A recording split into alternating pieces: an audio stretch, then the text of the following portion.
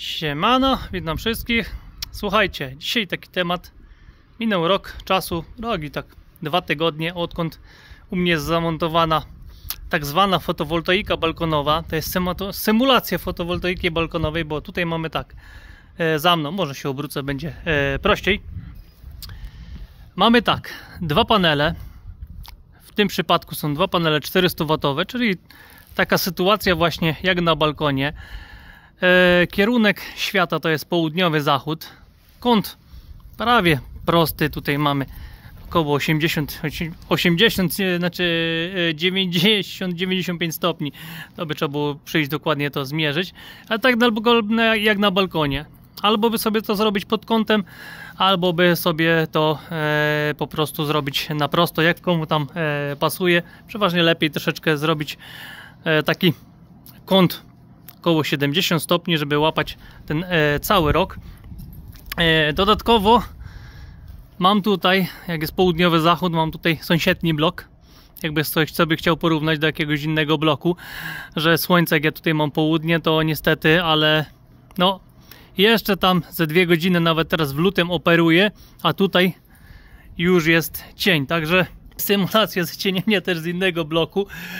E, W lecie też zdarzało się, póki jeszcze miałem magazyn energii 15 kWh, bo to jest pod duży magazyn podpięty, ale na e, MPPT e, trackerze, na takim regulatorze. Póki to było e, na mniejszym, to też parę razy odcięło, tak by was w domu nie było. Czyli taka fajna sym- symulacja właśnie, jakby to wyszło na takich dwóch panelach. Tutaj 400 W, można sobie 500 założyć, e, 550 to już tylko kwestia przeliczenia sobie tego te 0,8 e, 0,800 W pika przed, przez to, co wam zaraz po, za, pokażę, ile wyprodukowało, ile z 1 kW i później pomnożenie poprzez moc, jaka was tam, e, że tak powiem, interesuje. Także co, idziemy zobaczyć, ile przez rok taka, takie dwa panele 0, no 800 watowe, e, jeden, dwa panele 400 watowe, czyli e, zestaw 800 W, ile wyprodukował energii. A żeby się o tym przekonać, to trzeba iść do bunkra. Idziemy do bunkra.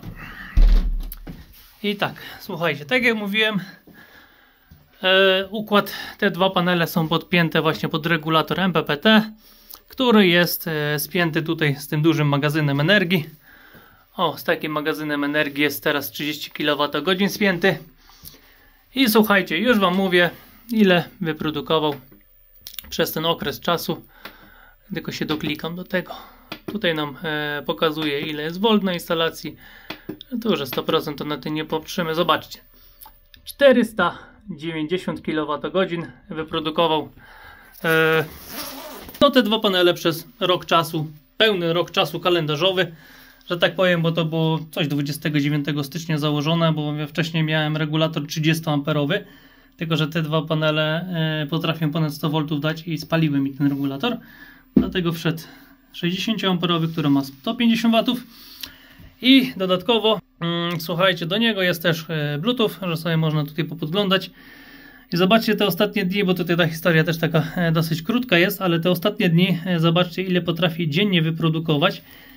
Zobaczcie, potrafiło nawet w lutym, wczoraj był któren? 12 lutego, ponad 2 kWh. 2,1 chyba po, potrafiło wyprodukować. O, mamy, jest 2000, 2100, no 2,1 kWh po 2 kWh. I tak się to, e, słuchajcie, kręci. Ogólnie, tak jak widać, 490 kWh, czyli 4960 Wh. Na Wh się ogólnie nie patrzymy. Można było tą historię pocofać, ale z tego co patrzyłem, jak jest e, słoneczny dzień, oczywiście od południa do południowego e, zachodu, to e, 2 kWh potrafi wyciągnąć z zacienieniem tutaj, które jest e, właśnie tego budynku. Jakby nie było tego zacienienia, to pokusiłbym się, że nawet 2,5, może i 3 kWh przy teraz, właśnie teraz, tak niskim słońcu, bo ta instalacja teraz tak fajnie e, działa przy e, tak niskim słońcu, bo jednak jest kąt prosty i robi to robotę. Czyli czy ma to sens? Słuchajcie. Hmm. Może tak. Spiąć to z falownikiem i z jakimś magazynem, to falownik niestety zawsze bierze na swoje potrzeby w nocy, w dzień i kurde, te panele nie wiem, czy by obłoniły, żeby e, tak naprawdę jego pracę. Według mnie lepszy jest układ właśnie taki, regulator MPPT, bo on na swoją pracę to tam wata czy dwa może bierze, jeśli już jest, nie, nie widzi fotowoltaiki. To jest bardzo fajny temat. Baterie, układ 48 albo 24. Jak to woli? No, najlepiej układ 48, czyli 5, no, w naszym przypadku 51,2 V, bo life po 4 to life po 4. Na dzisiaj e, ja bym preferował dwie takie baterie po 24, bo wtedy sobie można albo 24 zrobić, może tak, e, jak jest 800 W peak, widzicie 2 kWh produkcji. Taka bateria ma, e, no pracuje mniej więcej na 2 kWh, ale różnie to jest, jak będą 500 panele trochę zrobi więcej. Czyli ja bym preferował 5 kWh e, magazyn energii, żeby ten bufor był większy i żeby to sobie fajnie pracowało. Dzisiaj już takie gotowe baterie można kupić, jak dobrze się poszuka, to już za 500 zł za kilowatogodzinę, także no 5 kWh 2,5 tysiąca trzeba było wydać. Regulator lepszy jakiś, no też trzeba około 500 zł wydać. Do tego dwa panele, no panele dzisiaj to już tam po czystówki pewnie kupi. Mm. No i w drugą stronę, e, słuchajcie, się wydaje, że najlepiej.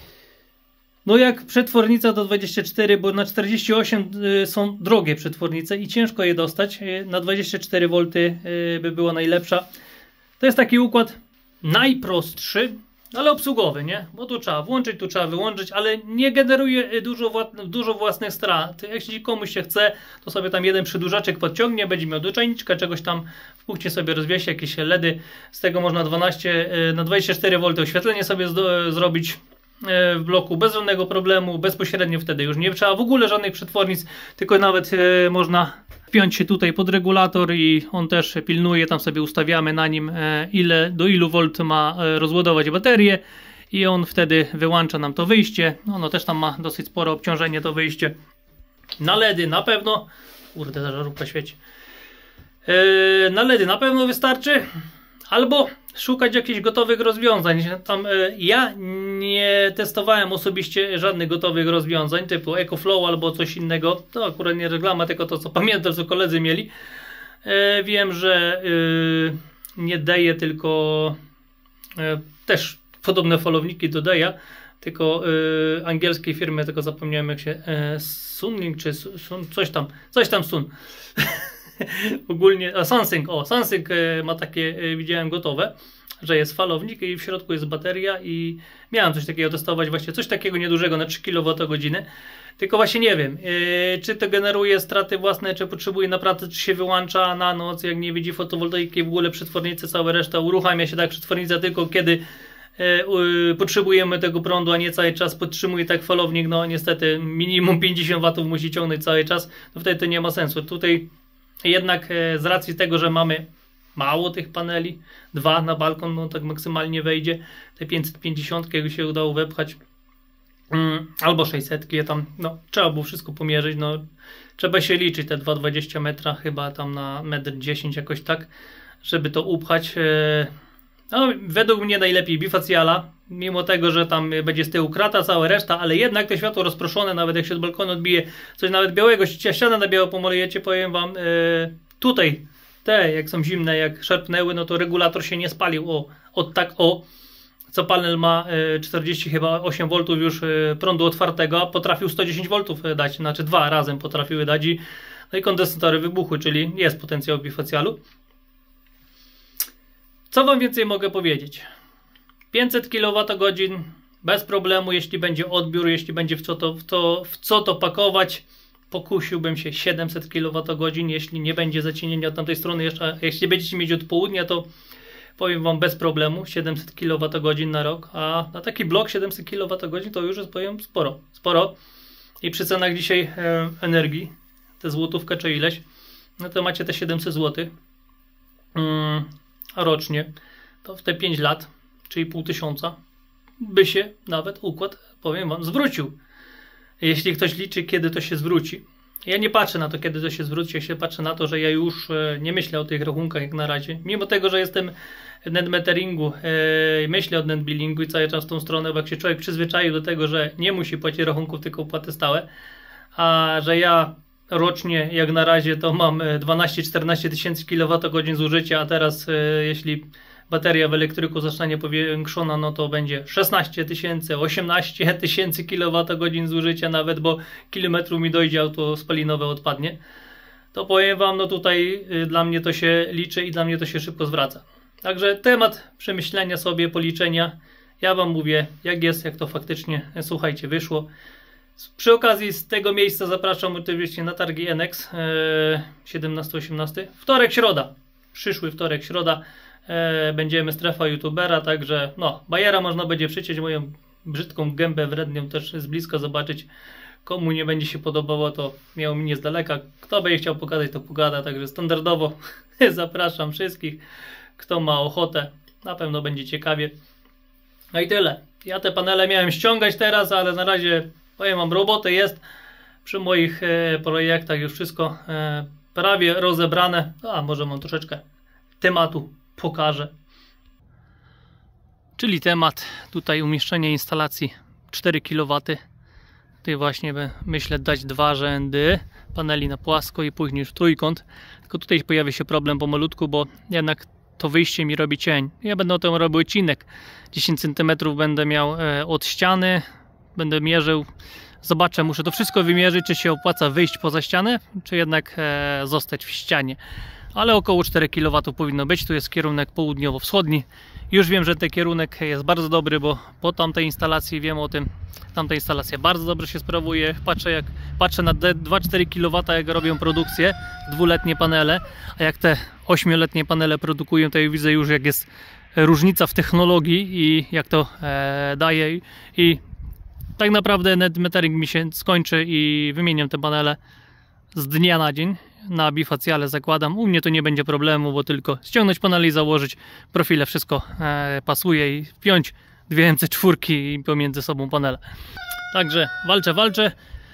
A wy jak chcecie, montujcie fotowoltaikę balkonową, przeliczcie sobie, czy wam się to opłaca, czy wam się to nie opłaca. W ogóle nie trzeba się z zegarem spinać ze wszystkim, zrobić sobie wyspę i tylko i wyłącznie dla siebie tego używać. Tak jak mówiłem, te, tego kilowata na ściany, dwie 500 zawiesić, 5 kWh magazyn energii mi się wydaje minimum i nie miałem styczności, to nie wiem, szukać e, falowników właśnie takiej fotowoltaiki balkonowej, które działają na zasadzie przetwornicy, że jeśli nic z nich nie używacie, to ta przetwornica jest wyłączona i wam tego prądu nie wpierdziela, bo jednak mało jest.